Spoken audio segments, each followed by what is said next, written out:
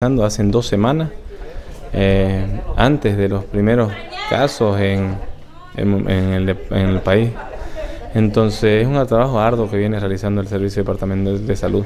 Hemos combinado a, la servicio, a los seguros a corto plazo, a la Dirección Municipal de Salud, para poder trabajar en conjunto, porque si no nos unimos no vamos a llegar a ningún lado.